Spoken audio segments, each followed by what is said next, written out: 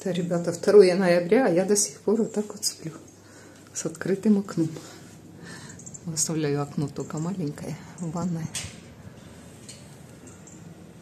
А в комнате оставляю ее вот так вот, полуоткрытая. Говорят, в Германии так проветривать окна нельзя.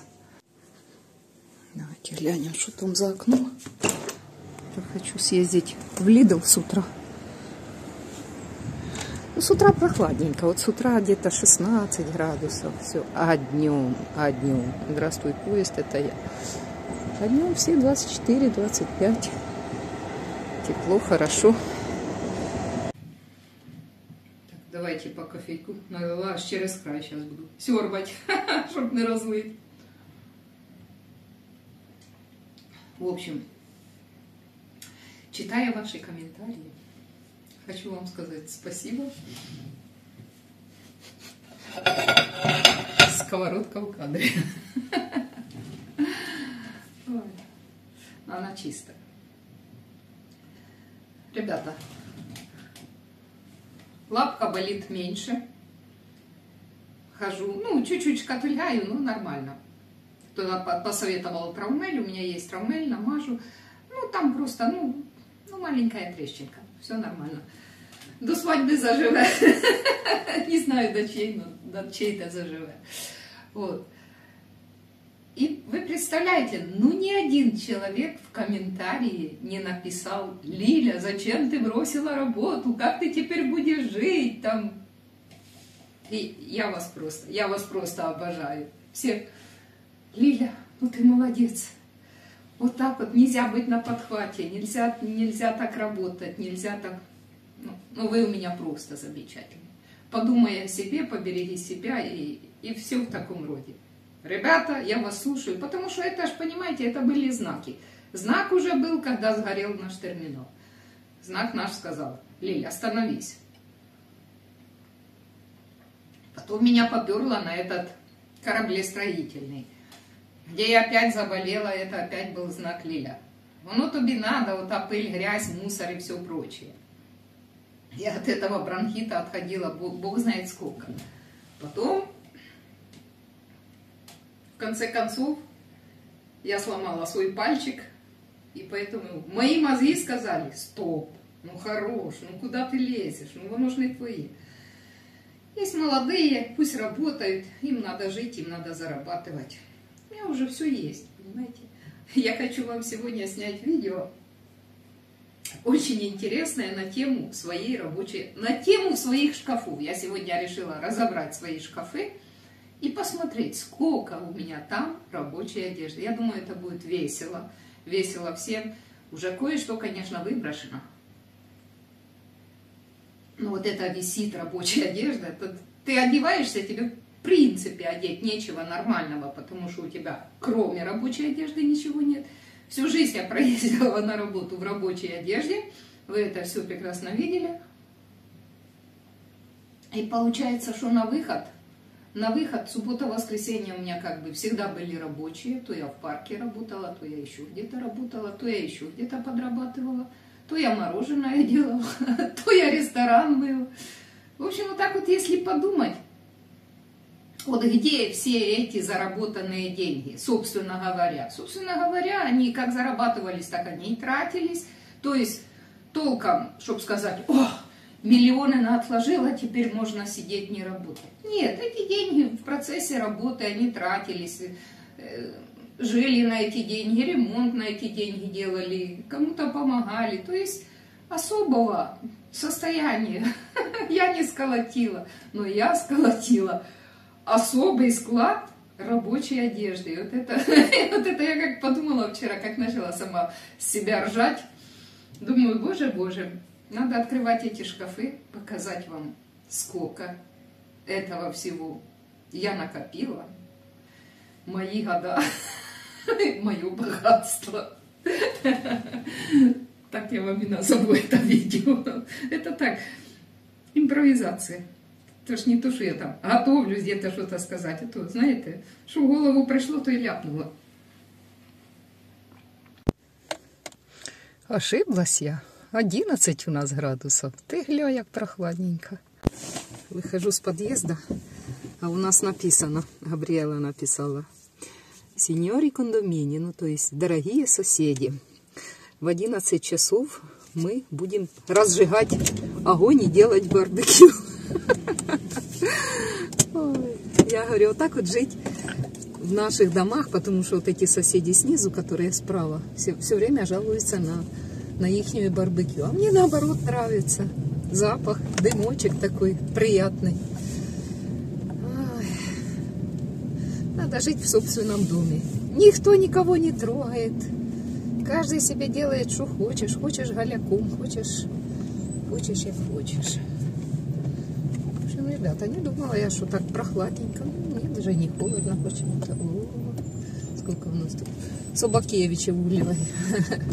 Все улыбаются с утра. Девочка вообще с коротким рукавом. Пофиг, 11 градусов. Вот. Мы же знаем, что сейчас солнышко выйдет и будет ой-ой-ой, как тепло.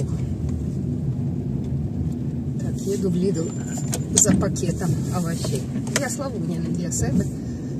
Собственно, хватает то, что надо доесть. А, мне кофе надо купить. Напоминайте, а то без кофе.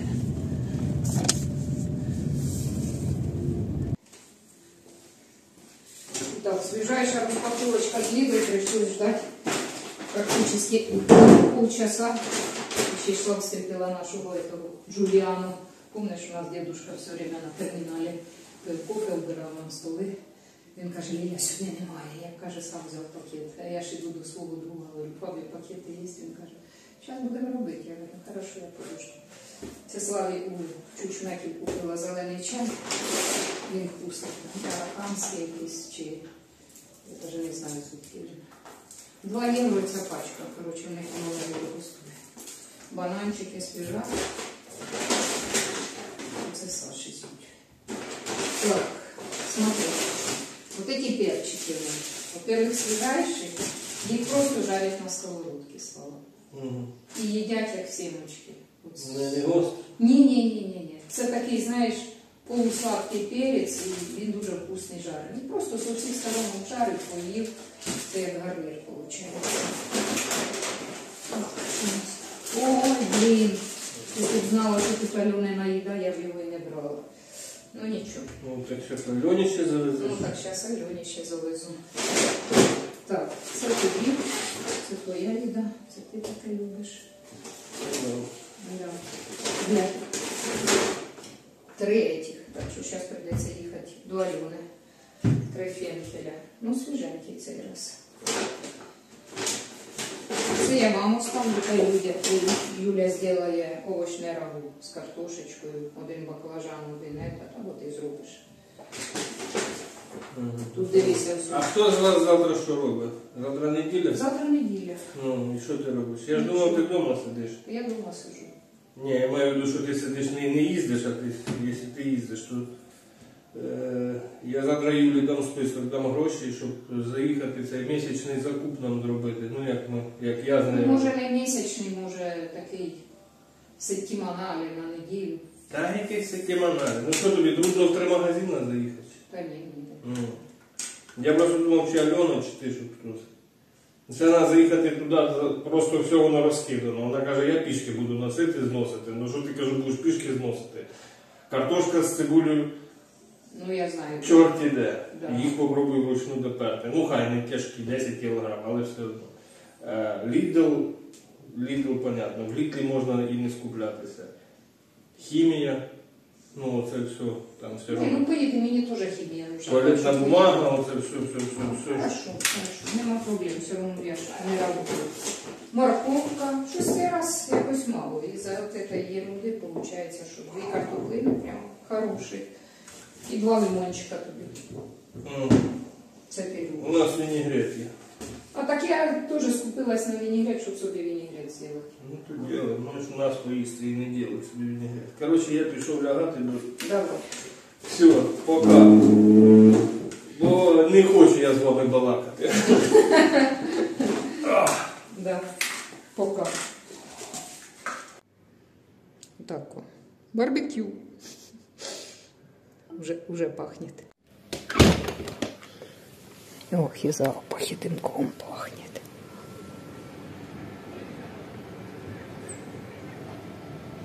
Далее. Там тоже какой-то сбор во дворе. Родственники, собака. Суббота.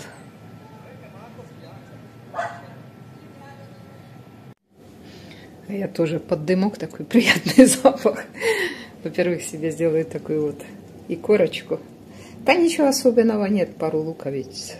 Сейчас пару перчиков и баклажаны, чеснок. И винегрет, виногрет. Виногрет будет с кислой капусточкой, с фасолькой, с красным луком. Картошку я вчера сварила, морковку сегодня варю. В общем, в общем овощных добавок у меня буде хоть отбавляй. Картошка дробь 16. Так, смотрите.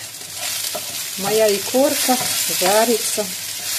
Ну, думаю, так как у меня свежих помидорчиков нема, добавлю-ка я сюда чуть-чуть, что я масла много не нарезала, добавлю я сюда чуть-чуть соли, томатик для остроты вкуса.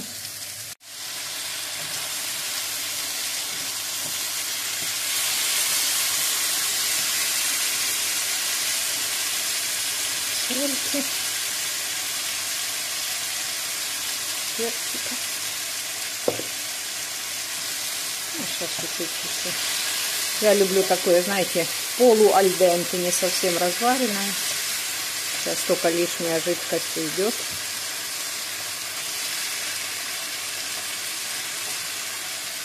Добавляю чеснок. Добавляю горький перчик, можно уже добавить. И немножко петрушки. Запах петрушечки и чеснока сразу делает свое доброе дело. Все, ребятки, икра у меня готова. Я ее выключаю.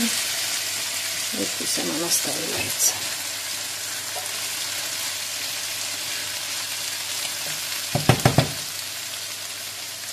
Попробую на соль. Для винегретика, помните, у меня есть для оливье, для винегрета. Эта решеточка очень удобная.